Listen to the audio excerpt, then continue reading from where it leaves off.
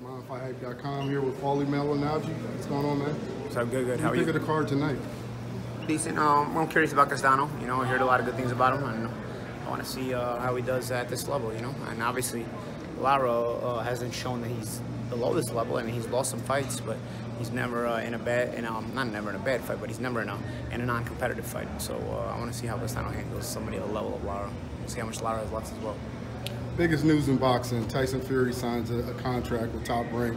Yeah. Uh, do you think that that was a power move for, for Top Rank and Tyson Fury? Is, was it a block move to, I don't know, kind of like block Wilder from getting a rematch and making a ton of money? How do you see it? Um, I think it was a power move for sure. I mean, I think Top Rank and Tyson Fury made a power move, absolutely. Um, the only blocking that was done was when they robbed Fury. If you don't rob Fury, you have the rematch clause is automatic. It's locked in and it's sealed. You know, if you don't rob Fury, Fury wins that fight. There's a rematch clause.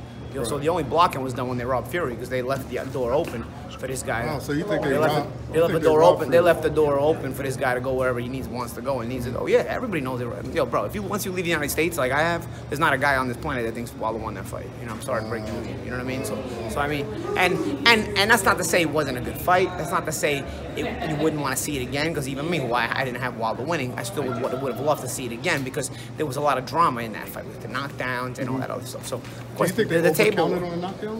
Counted on a knockdown? though? They definitely oh not oh they'll out, out counted or like the Right, long like count. the 12. I don't think they counted.